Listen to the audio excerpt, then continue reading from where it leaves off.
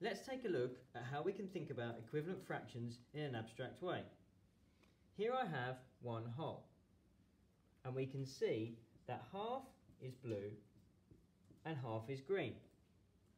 But can I think about half as though it's tenths and find out how many tenths are equivalent to my one half? I can do that by splitting up my 1 into tenths. That means I need to have 10 equal parts.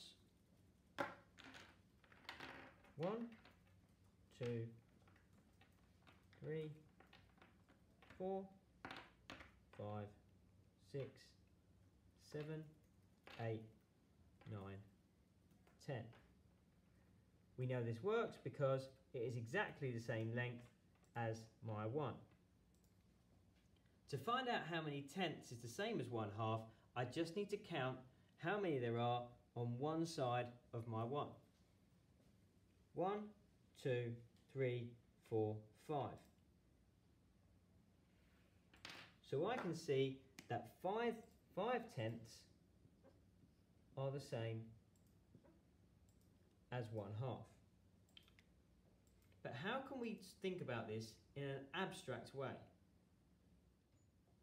So we've just said, using the blocks, that 1 half and 5 tenths are the same. But if we're going to think about this in an abstract way, we can use times tables to help us.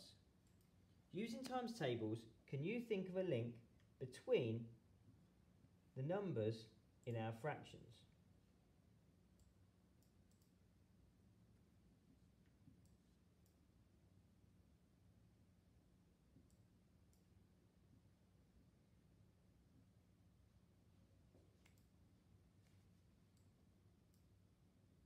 Hopefully you might have worked out that 1 times 5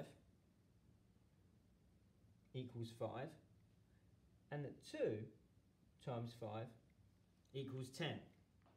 By continuing to times by 5 you can keep finding the equivalent fractions of 1 half and 5 tenths. So 5 times 5 is 25 and 10 times 5 is 50. Then 25 times 5 is 125 and 50 times 5 is 250. Using that pattern we can see that 1 half is equivalent to 5 tenths which is equivalent to 25 fiftieths which is equivalent to 125 250ths. Let's take a look at one more example. Here you can see I have one whole and I've split that into thirds. I want to find out how many sixths one third is equivalent to. So I need to split my amount into sixths. I have 12 here, so I can do 12 divided by 6 to work out how many sixths one sixth is. I know that 12 divided by 6 is 2. So two of my blocks can help me make one sixth. I can check that